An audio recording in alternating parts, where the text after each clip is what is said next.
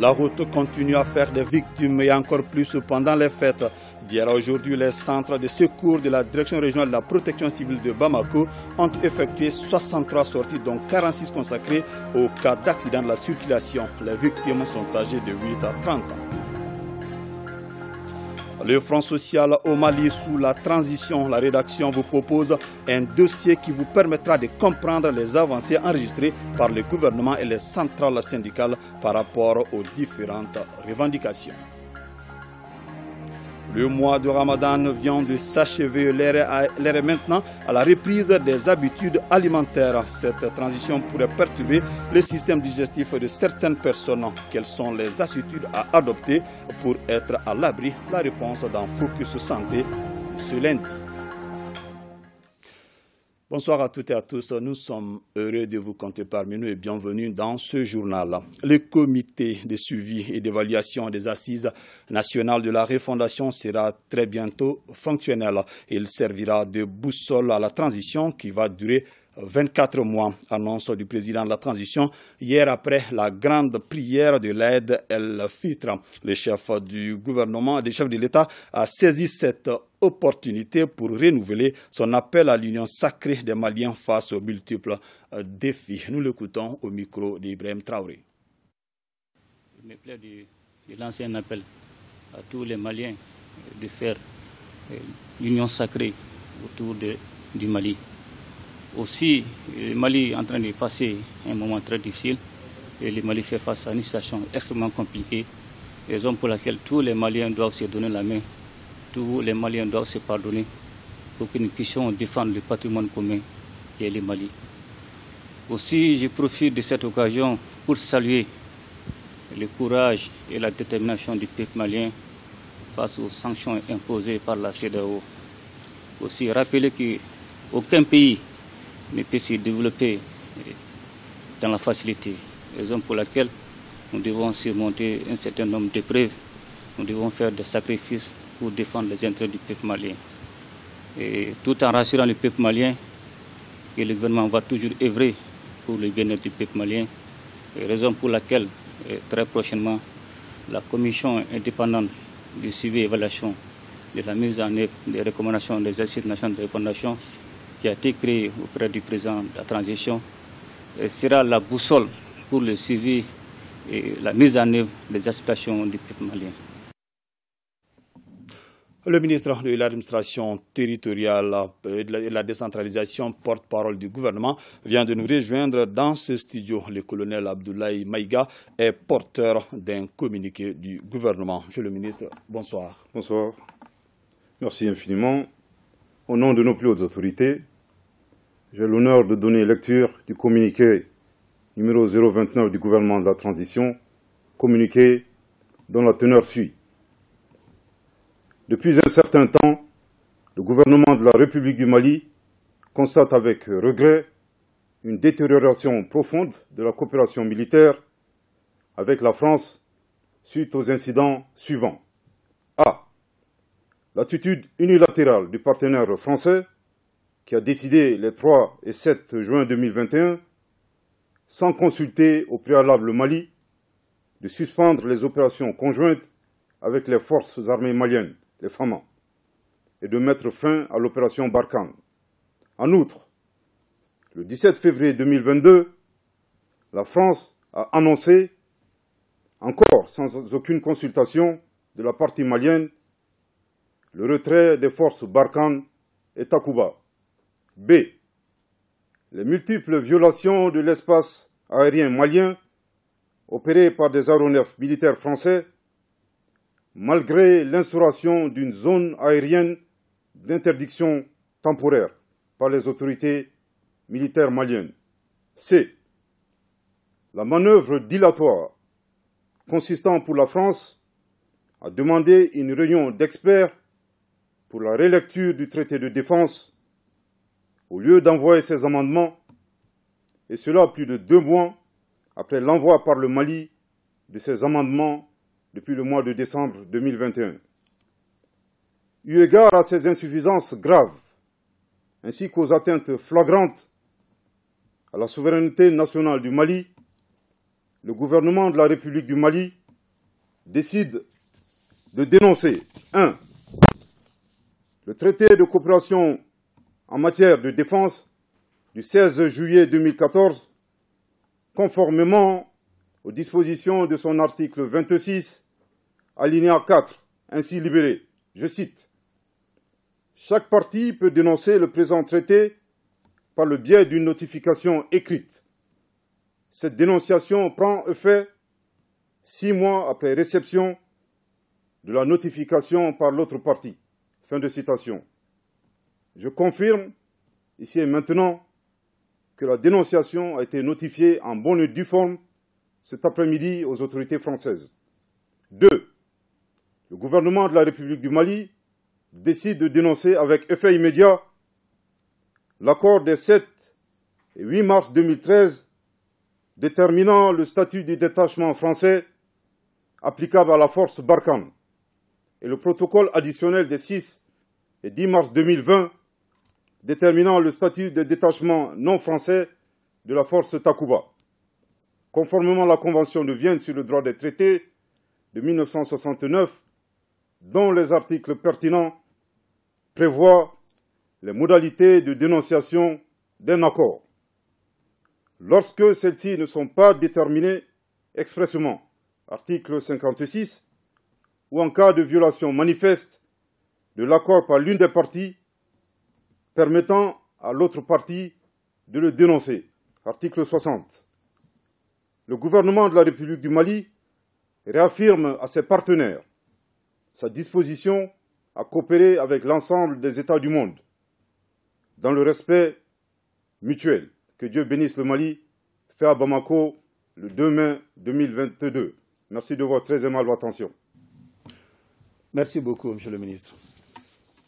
L'aide El Fitra, c'était hier au Mali, ici donc à Gao, les fidèles musulmans prennent d'assaut chaque année le tombeau des Askia pour la grande prière. Un autre fait marquant de cette fête dans la cité des Askia, c'est tout le rituel autour de celui qu'on appelle Gao Al-Keidou. Aliou Idrissa Maïga.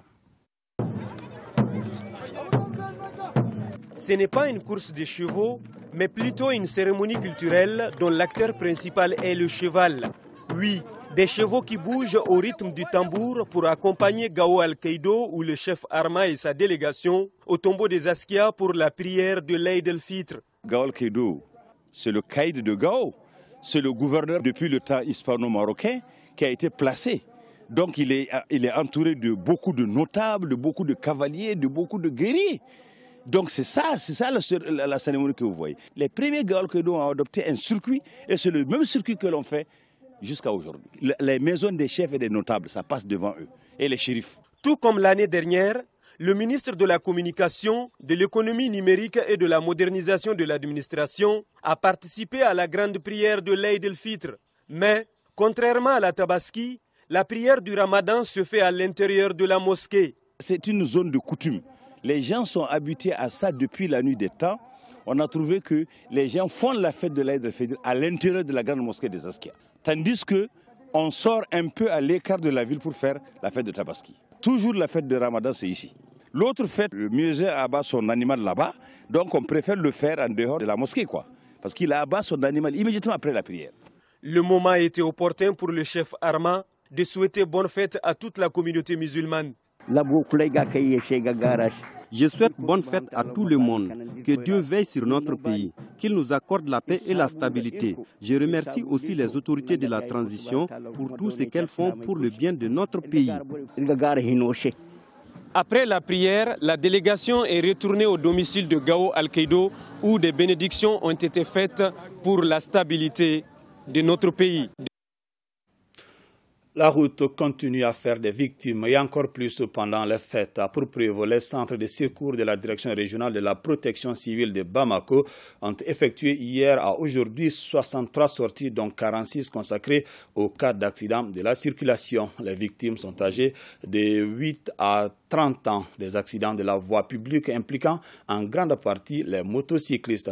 Et, en, et en, bien sûr, ces chiffres sont relativement inférieurs par rapport à l'année dernière. Ousmane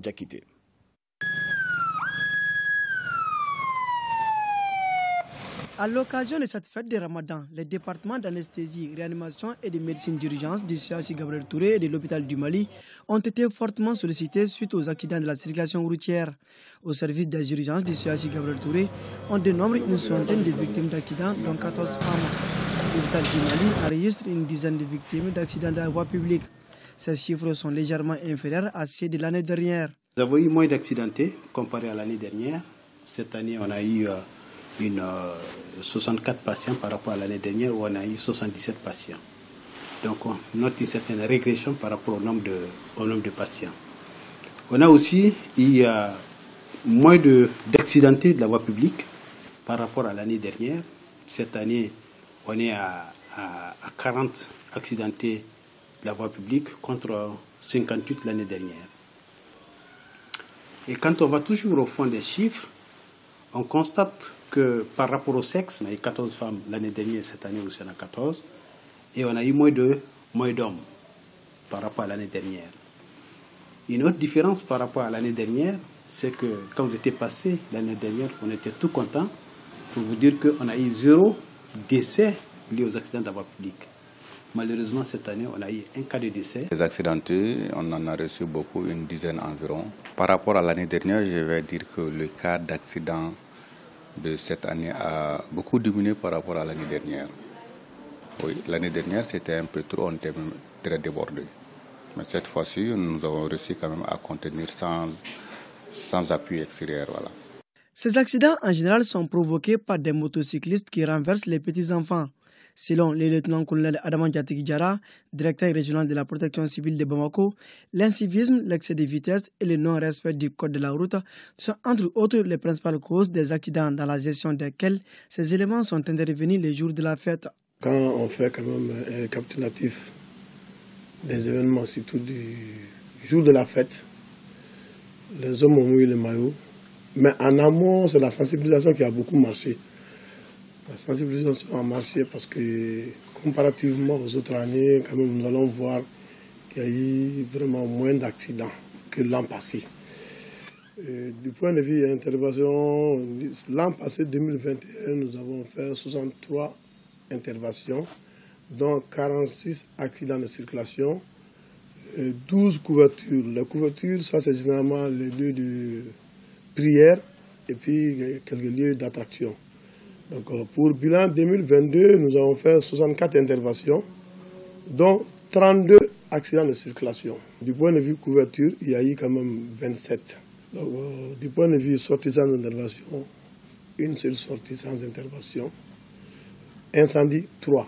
Chaque fois qu'on a, on a 100, 100 accidentés qui arrivent dans le service, nous savons qu'à peu près les 60, dans 70 à 80% la moto est impliquée. Et on sait les lésions qui accompagnent les accidents de la voie publique impliquant les motocyclistes. Ça réalise ce qu'on appelle les lésions par projection. C'est-à-dire l'électricité peut être projetée, parce qu'un engin à deux roues, il n'y a pas d'équilibre. Donc l'électricité a tendance à être projetée.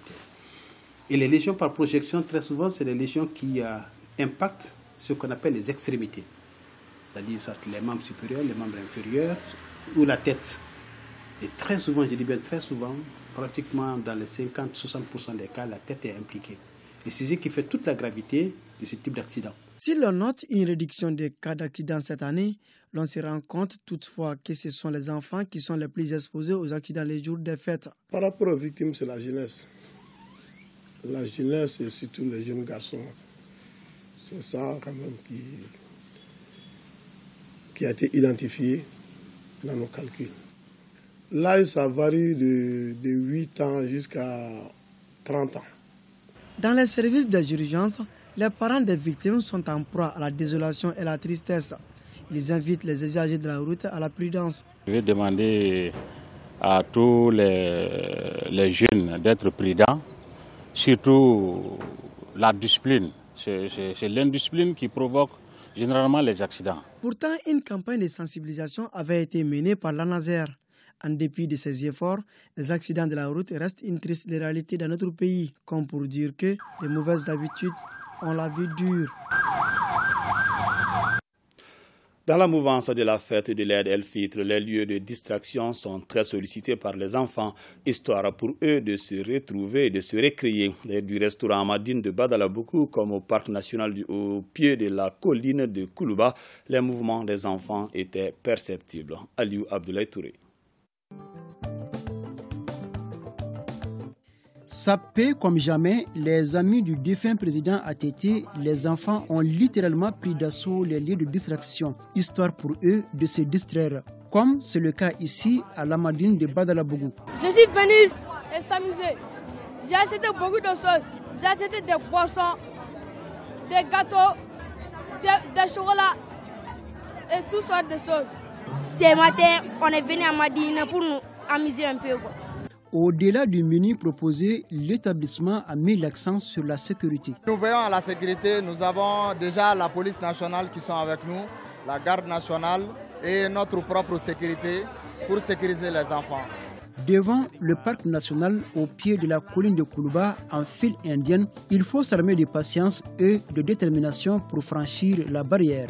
Nous sommes dans les rangs, cela fait trois heures de temps. Nous n'arrivons toujours pas à, à prendre de tickets. Gedjuma Koulibaly et Mansour Diarra viennent d'avoir leur ticket d'entrée après une longue patience. Nous sommes là depuis 10 heures. Oui, je viens d'avoir mon ticket. Je suis au point de rentrer. Je suis très content, j'ai pu avoir mon ticket là. C'est bien, il y a beaucoup de monde et puis l'ambiance est cool quoi. On vient nous détendre. On va passer du temps ensemble quoi. Au parc national, comparativement à l'année dernière, cette année aussi, l'affluence est grande. L'affluence est grande. Euh, 14 heures, c'est une heure de pointe, mais l'heure de pointe peut continuer jusqu'à 17h, 18h.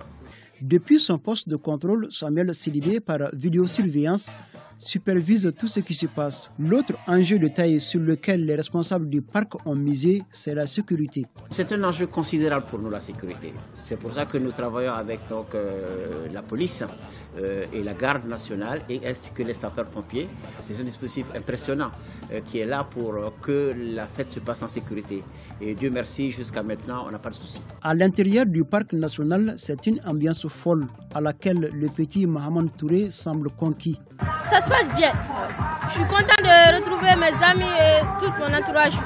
Plusieurs stands sont érigés pour servir des restaurants pour satisfaire les enfants. Partons au grand marché de Bamako en ce lendemain de la fête de Ramadan. Le constat n'est pas réalisant des déchets plastiques un peu partout. Cet acte d'incivisme s'accroît d'année en année. Le constat est fait par Saloum Konate. Au lendemain de la fête de Ramadan, le grand marché de Bamako affiche un visage peu enviable. Manque d'aménagement, de système d'égout ou d'incivisme. Le constat est tout simplement déplorable par certains passagers suite à cette insalubrité.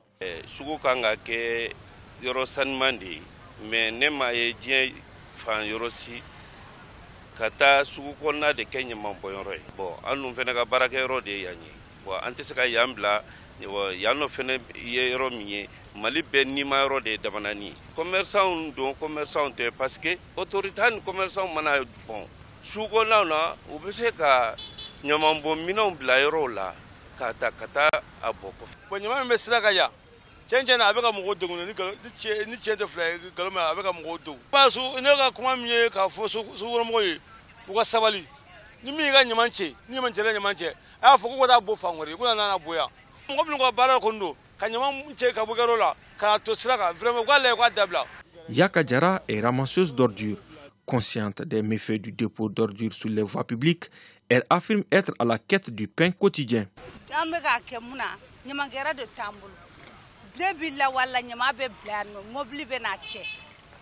Debi ne donnen filɛ la san mugan dɔɔni ne bɛ baara na. An bɛna ɲama bila ni mobili nana dɔrɔn a bɛ k'a la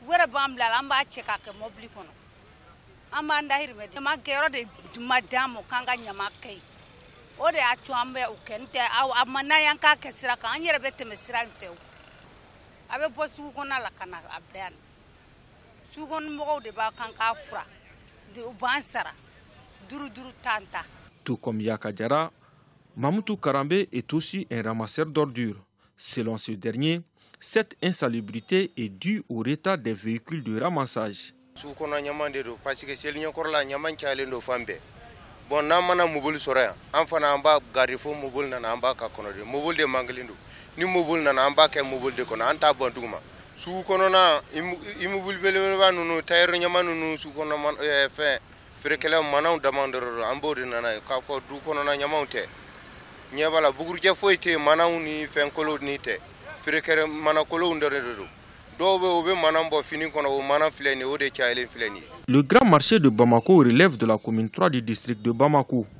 Les autorités communales sont à pied d'œuvre pour mettre fin à cette problématique qui se pose après chaque fête. Pour mettre fin à ça, c'est de s'organiser au niveau du marché et si possible euh, de venir voir la mairie pour qu'on puisse euh, les orienter vers un GIE et que ce GIE puisse se charger de l'évacuation de ces gens-là vers euh, un dépôt de transit. Il y a les textes qui interdisent cette pratique-là. Euh, si nous prenons la loi euh, 20 21 032 euh, du 24 mai 2021 relative aux, aux et aux nuisances, qu'il est interdit euh, de produire ou, ou détenir les ordures. Donc, il y a des pénalités aussi. Et dans la même loi, euh, l'article 59 dit que sont punis d'une amende de 5, 5 000 à 20 000 francs CFA les auteurs d'infractions aux dispositions de l'article 13.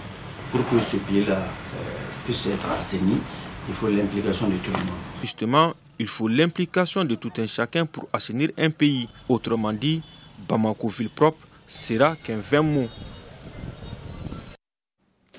En islam, le jeûne des six jours dans le mois de Shawwal, c'est-à-dire le mois qui suit le mois de Ramadan, n'est pas obligatoire, mais cette pratique équivaut à deux mois de jeûne. Drissa Kone et Mamadou Sidibé se sont intéressés au sujet.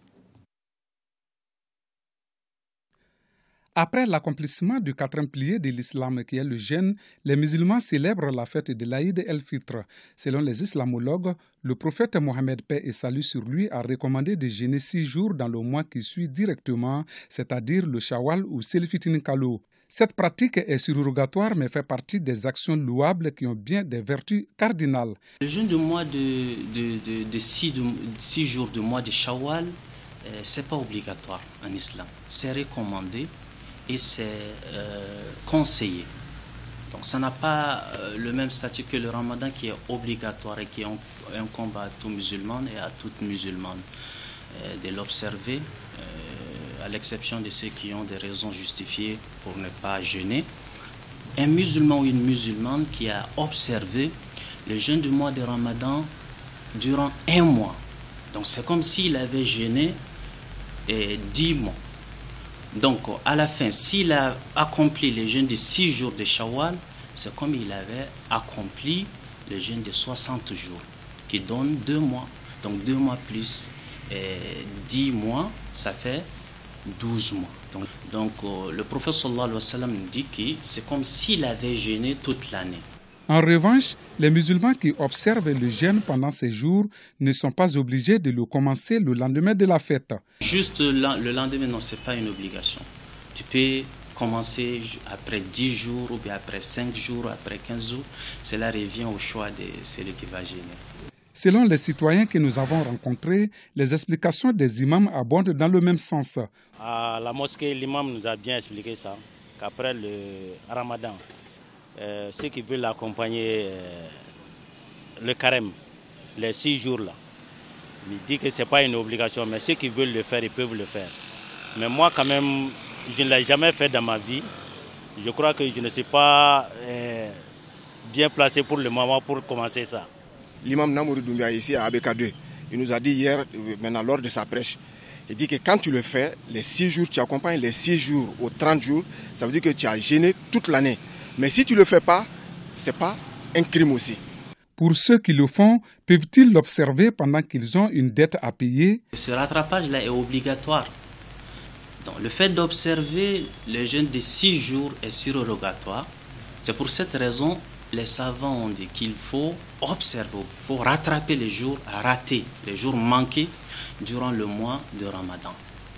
Donc après cela, tu vas euh, commencer à jeûner les six jours. Euh, il y a d'autres qui disent que Allah subhanahu wa ta'ala a laissé la porte largement ouverte pour celui qui veut rembourser ou qui veut, euh, s'acquitter de la dette de Ramadan durant euh, toute l'année jusqu'au Ramadan prochain. Donc, il serait, selon eux, il serait possible de jeûner les six jours de Shawwal. Jeûner donc ces six jours dans le mois de Shawwal est comparable au jeûne du jour d'Arafat, d'Ashura ou chaque lundi et jeudi. Tous ces actes sont de nature à rapprocher davantage les pieux musulmans d'Allah subhanahu wa Plusieurs millions pour offrir un lieu de culte musulman de grande dimension à la ville de Sikasso. L'initiative d'Abdoulaye Jawara est natif de la ville. Après environ un siècle et demi d'existence, la mosquée Filamisri de Sikasso dans le quartier de Bougou-la-Ville est désormais l'un des lieux de culte les plus importants de la capitale du Kénédougou. L'inauguration de la mosquée rénovée s'est déroulée le vendredi dernier. Située dans le vieux quartier de Bougou-la-Ville, à l'origine aux Peuls en migration à Sikasso, d'où son nom de Flasso, maison des Peuls, cette mosquée, qui porte le nom de Flamissiri ou mosquée des Peuls, a été réalisée dans sa version première en 1887. Sa capacité d'accueil a évolué de 100 à 300 fidèles et elle est la deuxième plus grande mosquée de vendredi après celle de Sanogola. 135 ans après, la mosquée offre désormais un autre visage. Une stature plus imposante, vêtue d'un blanc scintillant, sa capacité d'accueil est de 3500 fidèles avec toutes les commodités requises. L'initiative est d'un natif de Sikasso. L'argent n'a pas d'importance lorsqu'il s'agit de la maison de Dieu. Nous avons tout simplement souhaité jouer notre partition dans la promotion de l'islam en mettant cette mosquée à la disposition des frères musulmans.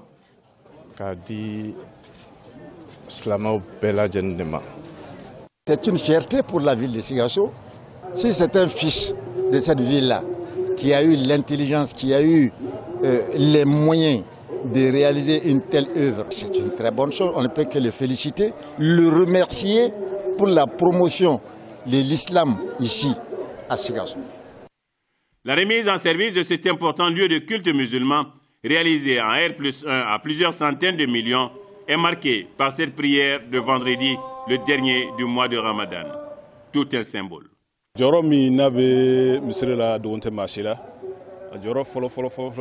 La mosquée a une grande importance parce que c'est la maison de Dieu.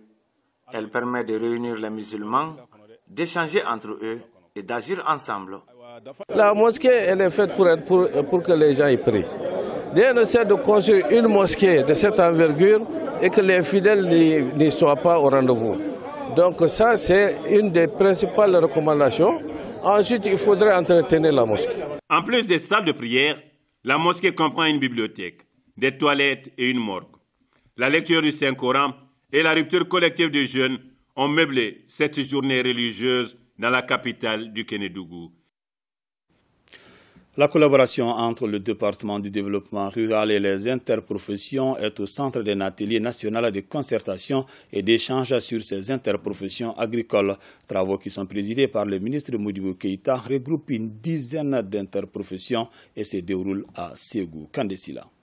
Assurer un mécanisme de collaboration pour maintenir la durabilité des interprofessions et comment promouvoir la compétitivité de ces interprofessions ce sont entre autres questions à l'ordre du jour de ce cadre de concertation. Cadre qui regroupe les responsables et représentants des services techniques du département du développement rural, ceux des interprofessions ainsi que les partenaires stratégiques. Ce cadre d'échange, ça va apporter beaucoup de fruits. Et ça vient d'être organisé parce qu'il y a tellement de problématiques dans ces filières qu'on peut euh, régler. Quand on regarde, il y a à peu près 10 filières aujourd'hui. Et cette filière aujourd'hui qui est mieux soutenue aujourd'hui, c'est la filière coton. Et la filière coton, il peut régénérer beaucoup euh, de bénéfices aujourd'hui grâce à l'organisation qu'elle a. Et les autres neuf interprofessions aussi qui sont là, si on arrive à les organiser la même chose, et on peut aller mieux, et puis on peut mieux développer le Mali. Cette initiative soutenue par le département constitue une opportunité certaine pour les différentes parties prenantes afin de définir des axes ou plans d'action appropriés pour la promotion des différentes chaînes de valeur. Quand on ne met pas de lien contractuel et prévisible entre ces acteurs, le résultat recherché ne sera jamais atteint. Donc euh, cet atelier vise à expliquer aux acteurs qui doivent s'organiser, qui doivent avoir des liens organisationnels pour que l'on puisse atteindre la souveraineté alimentaire. Notre pays étant un pays agricole euh, et dont la population à 80% est agricole, et cet atelier ne fera que nous rapprocher de notre objectif. Notons qu'à l'issue de ces trois journées de travaux, un accord cadre va être élaboré et qui servira de tableau de bord pour les différents acteurs.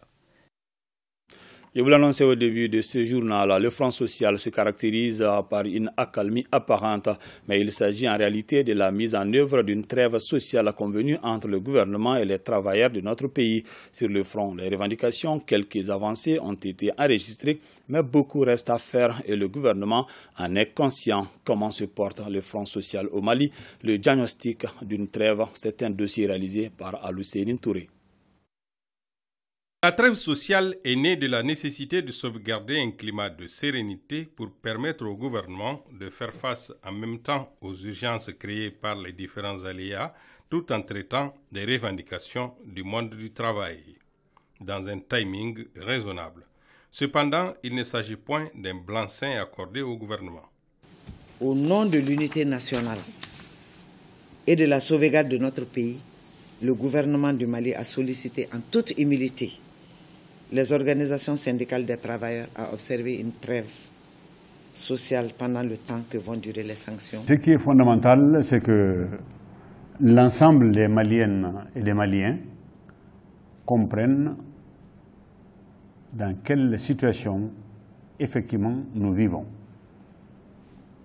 Que nous nous approprions de ces préoccupations, de ces réalités socio-économiques et politiques et aussi sécuritaires et que par rapport à tout ça, nous ayons effectivement la volonté politique de sortir de cette crise-là. Nous, de tout le temps, on a toujours privilégié le dialogue. On n'a jamais voulu aller avec euh, un affront avec le gouvernement. À chaque fois qu'il y a des problèmes, on a toujours négocié. Et on a toujours eu gain de cause, même si ce n'est pas total.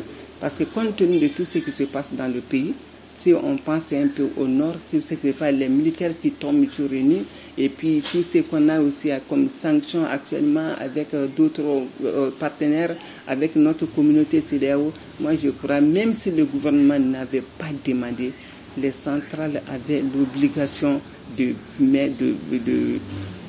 mettre cette trêve-là vraiment en, en action. La question de trêve, c'est une réalité et compte tenu vraiment de la situation que nous vivons. Et cela consiste tout simplement à quoi? À ne pas déposer encore de nouvelles doléances par rapport à la situation des travailleurs, compte tenu de la situation que nous vivons aujourd'hui au niveau vraiment du pays et euh, surtout particulièrement au niveau du monde du, travail.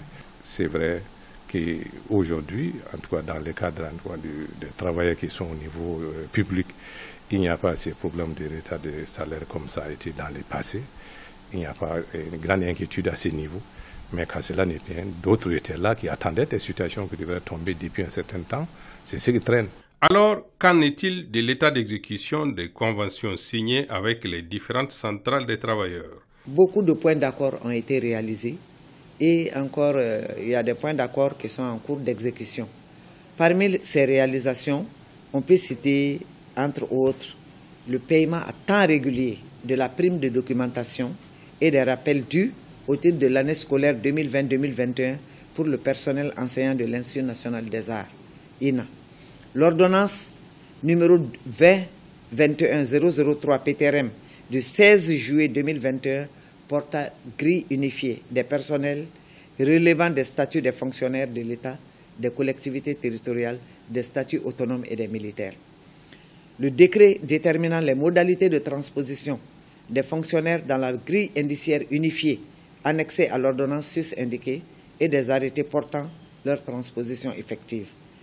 L'élargissement de l'ordonnance 2021-003 PTRM du 16 juillet 2021 portant grille unifiée et des modalités de transposition au personnel contractuel des cabinets de la présidence, de la primature et des ministères. Aujourd'hui, nous n'avons pas une euh, évaluation exhaustive, si ce n'est que, au moins, la grille des fonctionnaires de la fonction publique, elle est déjà appliquée, mais je dois dire que la corbeille est pleine. Et le gouvernement en a conscience. La situation des compressés, tout le monde en sait. La situation des patents volontaires. On a dit, de toute façon, l'État, c'est une continuité. C'est une situation qui ne date pas d'aujourd'hui. En 2021, on nous avait demandé à un moment donné, demander aux gens d'ouvrir des comptes pour qu'on puisse vraiment, ne reste que euh, de façon partielle, leur verser quelque chose. Face aux nombreux défis créés par l'environnement international, il convient de constater que les travailleurs traversent des moments difficiles dans le monde, particulièrement au Mali. La vie chère aujourd'hui, elle est mondiale, personne ne peut rien. Donc, dans, dans ce genre de cas, il est louable que tout le monde se, se ressaisisse et essaye de voir son train de vie et voir maintenant comment s'adapter à la nouvelle vie. Dans ces conditions, quelle perspective pour cette collaboration qui a permis d'installer un climat de confiance entre partenaires sociaux? Personnellement, j'ai beaucoup d'espoir euh, pour ce pays. Et la ligne, sinon la vision actuellement arrêtée par euh, les autorités, je suis convaincu que c'est la meilleure. Je pense qu'on soit travailleur ou exécutif, nous partageons le même objectif, celui du bien-être des travailleurs et partant de toute la population malienne. Si cela est une réalité de part et d'autre, les deux ne peuvent que s'accompagner. Dans un environnement économique et social plus que jamais difficile, les partenaires sociaux ont intérêt à collaborer étroitement afin d'offrir au monde du travail une assise confortable grâce à des sacrifices mutuellement consentis, mais aussi des efforts de la part de l'État régulateur. Point Covid du jour, les services de santé ont enregistré 7 nouveaux cas positifs sur 208 tests réalisés, 46 patients guéris et 0 décès. À ce jour, 71 patients sont sous traitement. Le mois de Ramadan vient de s'achever. L'air est maintenant la reprise des habitudes alimentaires. Cette transition du gène à un rythme alimentaire normal pourrait perturber les systèmes digestifs. Comment s'y prendre donc? La réponse dans ce numéro de Focus Santé signé Barakisa Ouattara. Durant le mois de Ramadan, tout notre rythme alimentaire est chamboulé. Les horreurs et la nature des aliments consommés subissent un changement. De trois repas par jour, on se retrouve avec une ration alimentaire beaucoup plus réduite. Reprendre sa routine alimentaire normale après un mois de jeûne doit donc se faire de façon progressive et en douceur. Le premier jour même, euh, après le ramadan, qui est le jour de la fête, on doit commencer euh, euh, l'alimentation avec des repas légers, c'est-à-dire le matin, on doit prendre juste un peu de Lipton ou de quinquilibre accompagné du pain. On doit éviter le gras le matin et on doit attendre jusqu'à midi. Mais avant midi, ici on a fait, on peut prendre un peu de fruits. À midi aussi, du fait qu'il y a beaucoup de viande, il faut qu'on mange un peu. Sinon, si on prend beaucoup de viande, ça peut entraîner aussi des troubles digestifs à base de nausées, de vomissements, de diarrhées ou bien de, de ballonnements. Autrement dit, il faut éviter de faire le trop-plein dès les premiers jours, car selon les spécialistes, le ramadan est un moyen naturel de détoxifier et régénérer l'organisme. En général, il y a des gens, après avoir passé un mois sans manger pendant la journée, juste après le ramadan, ils se disent que le poids perdu qui vont essayer de récupérer ça plus tôt. Étant donné que l'objectif euh, du, mois de, Ramadan, vraiment c'est bénéfique pour notre santé parce que le poids c'est le premier élément de l'homme. Le poids qu'on a perdu, on doit essayer de maintenir ça et à ne pas regagner encore ce poids. Durant cette période transitoire du jeûne à un rythme alimentaire normal, la patience doit être de mise car il est important de donner le temps à l'organisme de s'adapter tout doucement. Parce que de fait qu'on a fait un mois sans un régime équilibré, on doit faire une adaptation, mais de façon progressive pour que l'organisme puisse s'adapter petit à petit pour éviter les troubles digestifs. Une routine alimentaire bien dosée, oui, mais sans oublier de s'hydrater régulièrement et de pratiquer une activité physique régulière. En cette période de grosse chaleur, de boire beaucoup d'eau et éviter la déshydratation en essayer de planifier leurs activités, soit le matin de bonne heure ou bien le soir, et aussi se réhydrater avec de l'eau tout le temps. Et ceux qui ont l'accès aux climatisations, de, de, profiter euh, de cette faveur. Certes, la tentation sera grande, mais il serait une très mauvaise idée de vouloir récupérer un mois d'alimentation en un seul jour. Ainsi prend fin cette édition. Merci de l'avoir suivi. Que le bon Dieu nous protège.